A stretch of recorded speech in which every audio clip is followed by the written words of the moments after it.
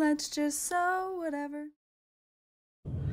All right, you guys, I am super excited today to be showing you how to cut and interface the Beachcomber pouch from Needle and Anchor Supply Co. I absolutely love the way she has her patterns laid out. She has this great cutting list. I went ahead and printed mine out on just regular paper and I used tape so that I could use a dry erase marker on the little cutting list. So this makes it easy for you to just check off what you're doing as you go.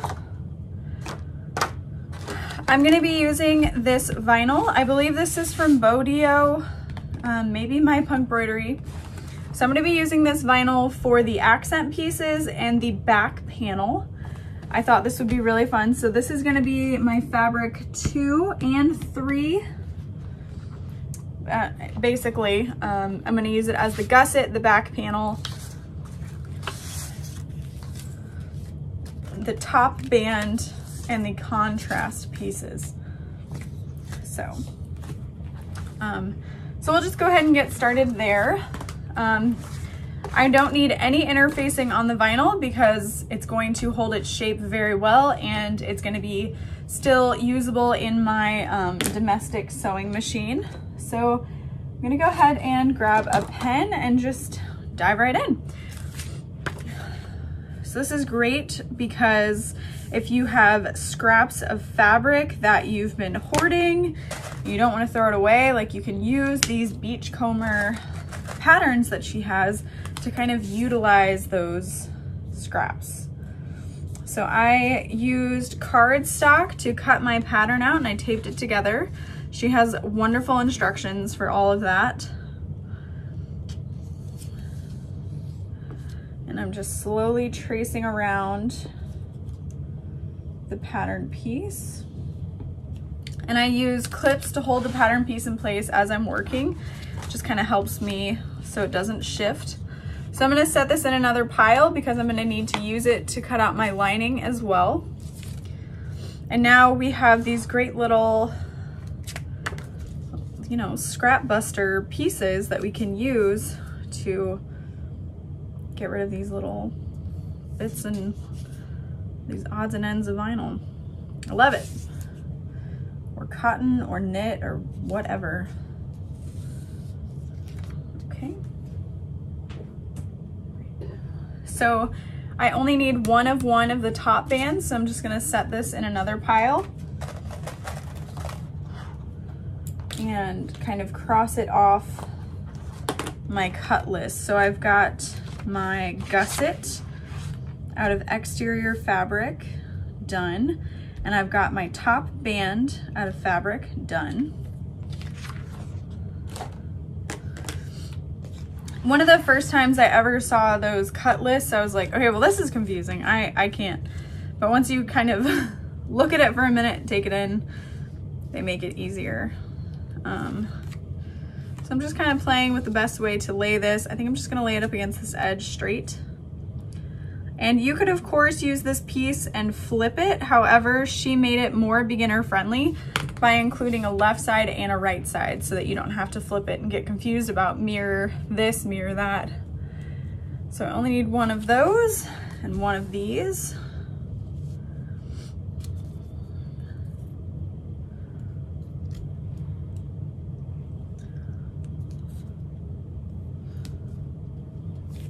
So I can put that in the Dunzo pile.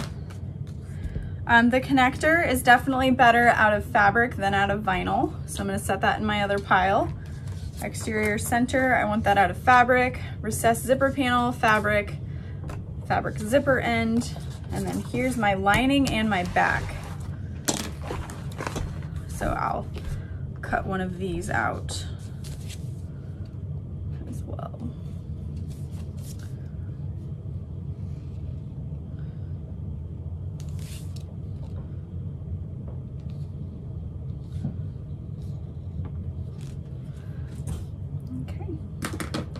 So then you're just gonna cut on your ballpoint line or your marked out line.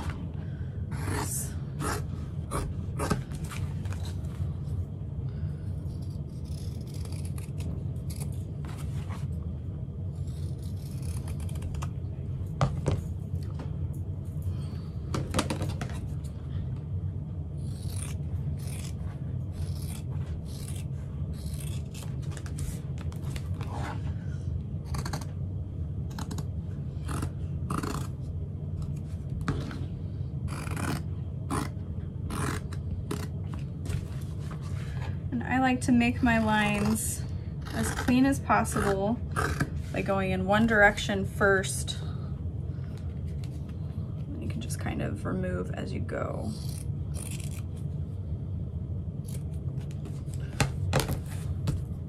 And you could save these little scraps and make zipper pulls if you wanted to or something, but I don't ever have the time to sit down and do that.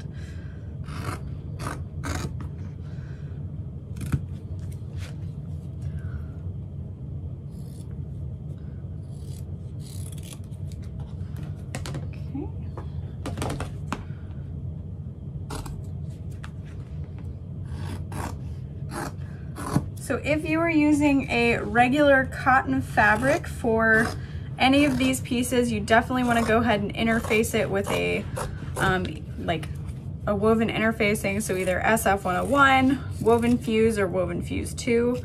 I don't think any part of this really needs Decovil unless you're using all cotton for your bag and then maybe you'd want the exterior gusset to have the Decovil so it stands up nicely on its own.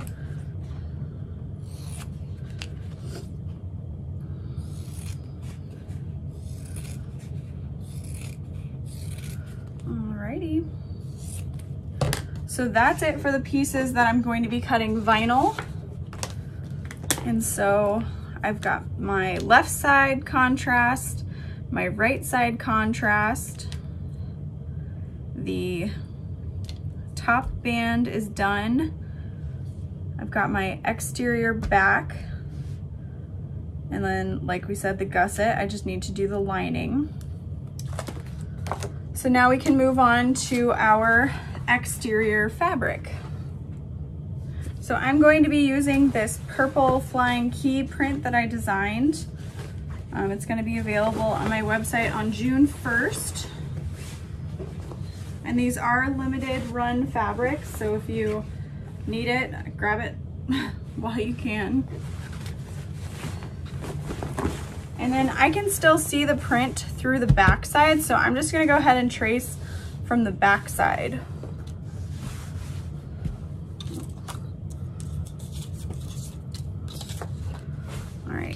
We want this exterior front piece to be the print. Again, I can just trace along. And I really like using cardstock for my patterns if I can't get a template because as you can see, like the edge of my ballpoint pen just slides along it so nicely. So that's the only one we're gonna need of that so I can put this in my Dunzo pile. And then I need this connector so I can just kind of lay it here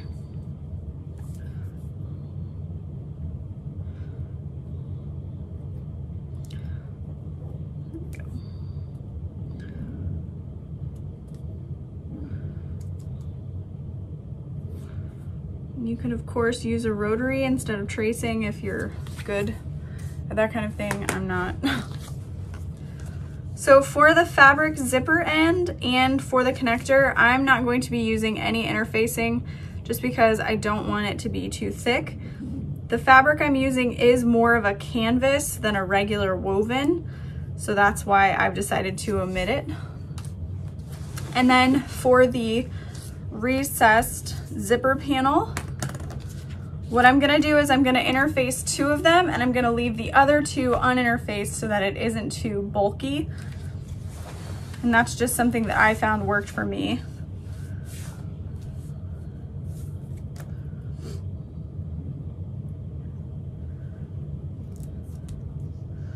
And I am lining it with waterproof canvas. So that's gonna be some extra stability added there as well.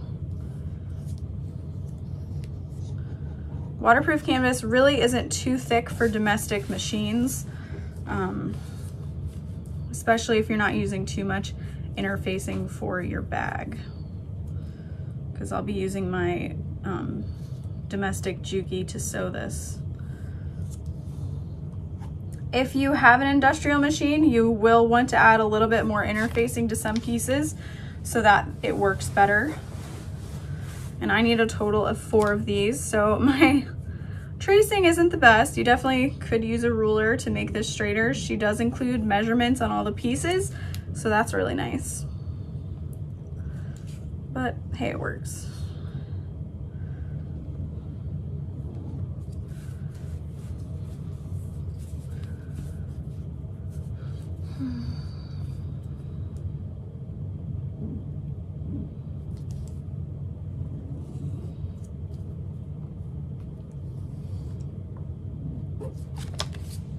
All right, and then we're done with that.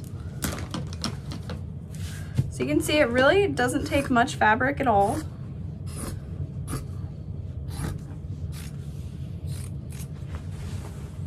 This would be a great little project um, for like a teen sewer as well. With some guidance. Okay, so I'm just gonna leave those all together for now.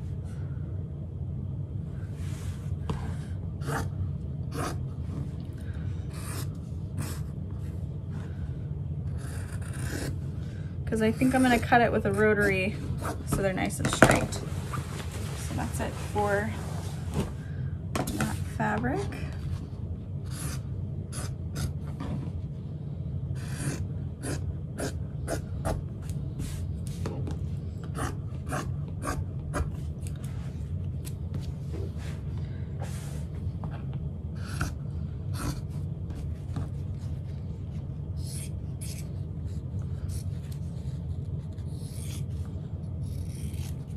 Okay, so if you are using a thinner fabric for this connector, what I would recommend is adding like a one inch piece of maybe 809 or a scrap of woven fuse because you're gonna fold it in half in half, etc., etc. So you might wanna have some stability in there so it's not weak.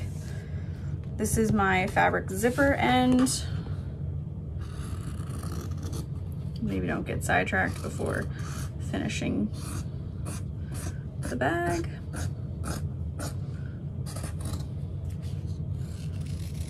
Okay. So then I'm gonna interface this with um, just a little scrap of woven fuse that I have sitting around to use it up. So this, like I said, it's just a great little fabric scrap buster.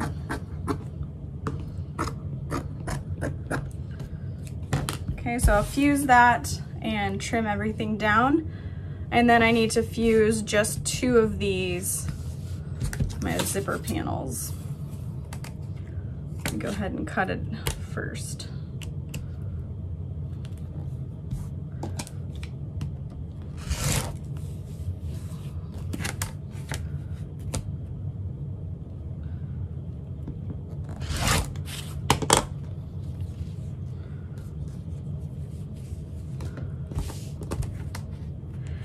You're using um, more of a thick canvas, you probably don't need to add any interfacing at all to the zipper panel, really. Um, that's just gonna be your personal preference. All right, so for this lining, I'm using this really pretty purple waterproof canvas. I thought it matched nicely. And like I said, it isn't so thick that your machine can't sew through it, but it's just gonna add a little bit more stability. So I'm just going to clip this in place in a few spots and trace around it with my scissors. I'm gonna be increasing my seam allowance on the lining a little bit anyway. So if this isn't cut perfectly, I'm not super worried about it. Make sure you don't give yourself a paper cut because I have absolutely done that before.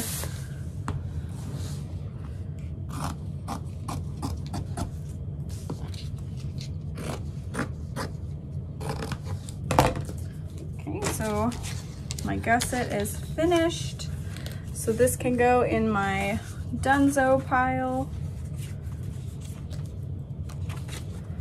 And then I just need two of the lining. So there are no pockets included or anything like that that I know of or read about, but You can easily add a zipper pocket to the lining or a little slip pocket if you wanted to, depending on who it's going to be going to, what you think you'll use it for, that kind of thing. You can make those decisions.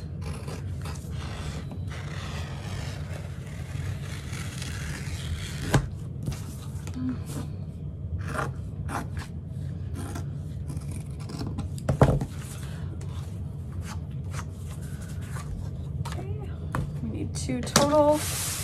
And what I like to do is trace one, flip it over,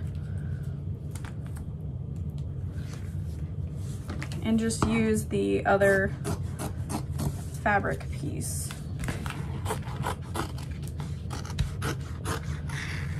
And again, you're just gonna kind of take your scissors around the edges. And that's it. This bag is cut. This bag is interfaced and this bag is ready to sew. So I hope you guys enjoyed this quick little video on how to cut and interface the bag. Hope it is a little less intimidating now. I know anytime you open a new pattern, you can look at it and go, I don't know what to do. There's a lot of words here. Um, so if you did enjoy this video, be sure to give it a thumbs up, comment below, and let me know if you will be making this bag.